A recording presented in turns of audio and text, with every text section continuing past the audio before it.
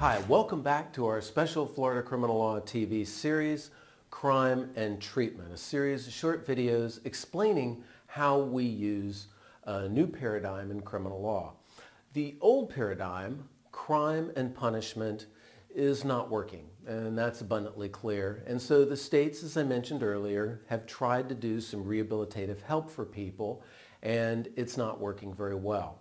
However, we can create crime and treatment that is effective and does work, and it all starts with that one thing I referenced in the last video that's missing, and that is a proper diagnostic evaluation.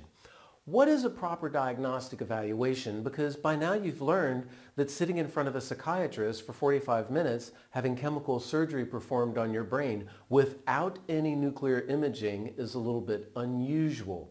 Think about this for a moment. If you had a broken bone, like the 12-year-old in an earlier video, would you demand an imaging before any treatment of that organ commenced? Absolutely, it's a no-brainer. What if you have an operation on an organ or some part of your body in your chest cavity? Are you going to have some form of MRI? You better believe it. The doctor would be negligent not to order one. Now consider this. When someone is pregnant, are they using different types of technology to obtain visual images as part of the diagnostic protocol? Of course, and we all know that. So when it comes to the most difficult to treat and the most important organ in the human body, we're not doing that. That's exactly the problem. And crime and treatment addresses that by using a technology for brain imaging known as SPECT. S-P-E-C-T. It stands for Single Photon Emission Computed Tomography. Now first I'm going to talk about the technology and later I'm going to talk about how we use it in court. But first, let's talk about the technology. Basically, when a SPECT scan is done, someone is given a radioisotope on two different occasions. On one occasion, they'll be performing a concentration test. On the other occasion, they're going to be relaxed and resting. The reason is when you get two sets of images, the doctor can better make the diagnostic analysis. Is that all they're using? Is SPECT a doctor in a box? Absolutely not. Instead, what happens is the physician uses a number of other things as well. For example, what's known as psychometric testing, a patient history, a family history, and a number of other different psychological and psychiatric tests. By the time this process is completed, you end up with a massive three-ring binder, so not some little two-page report or something, but a three-ring binder that's going to be filled full of information about the testing, about the brain imaging, and the treatment program.